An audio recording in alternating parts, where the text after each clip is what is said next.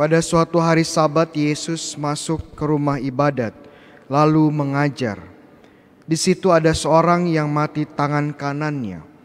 Ahli-ahli Taurat dan orang-orang Farisi mengamat-ngamati Yesus, kalau-kalau ia menyembuhkan orang pada hari Sabat, agar mereka mendapat alasan untuk menyalahkan Dia.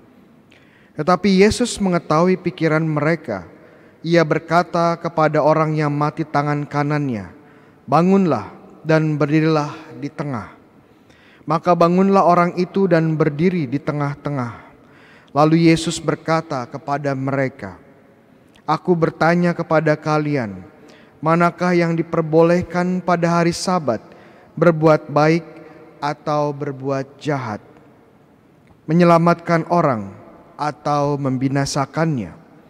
Sesudah itu ia memandang sekeliling kepada mereka semua, lalu berkata kepada orang sakit itu, "Ulurkanlah tanganmu."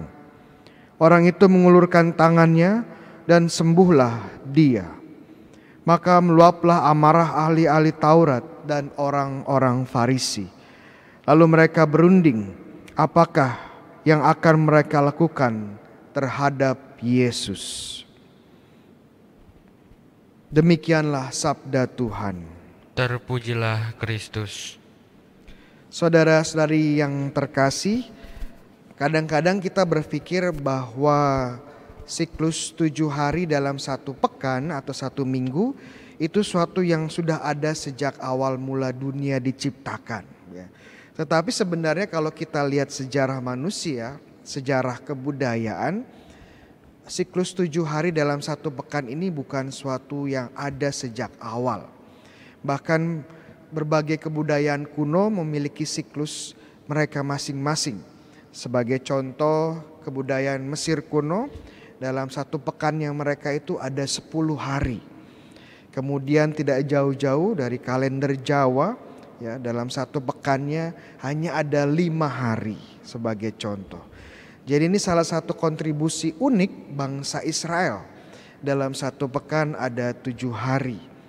Yang lebih unik lagi adalah di dalam tujuh hari ini ada satu hari yang didedikasikan sebagai hari istirahat. Ya, yang disebut sebagai hari sabat. Ya, hari sabat.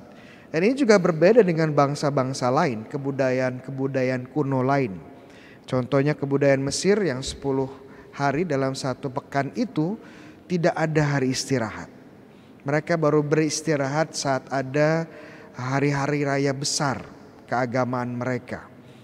Tetapi tidak ada dalam satu minggu. Dan ini sangat unik dan menjadi tradisi kita sekarang.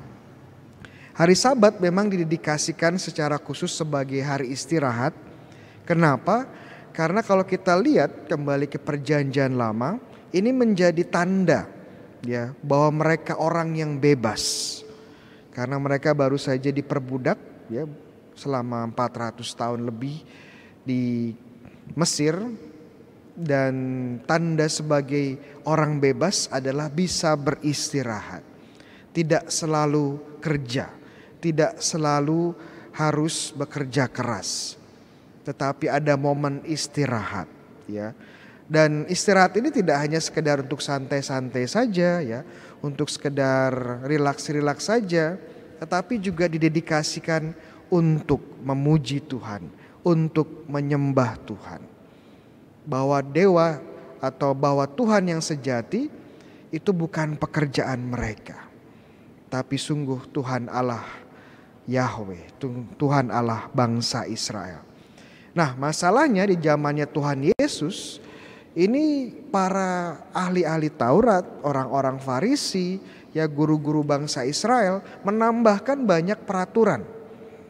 Tidak boleh masak, ya, tidak boleh berjalan lebih dari satu mil, tidak boleh memetik gandum, ya, tidak boleh mengobati orang lain.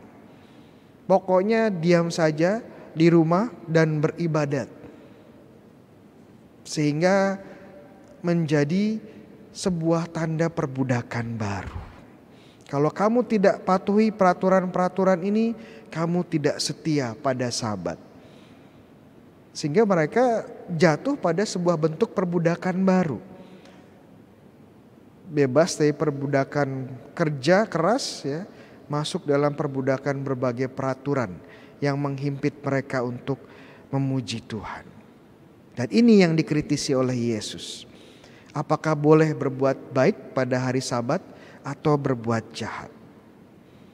Dan ini mungkin merenungan kita semua pada hari ini ya apakah yang masih membatasi kita untuk berbuat baik pada hari Tuhan? Karena hari Tuhan tentunya hari Minggu, tapi juga setiap hari. Apakah yang masih membuat kita diperbudak? Perbudakan-perbudakan apa saja yang masih ya mengunci kita, yang masih merantai kita untuk berbuat baik. Ini pertanyaan kita pada hari ini. Hari Sabat adalah untuk berbuat baik untuk Tuhan, bukan untuk memasuki perbudakan yang baru. Amin.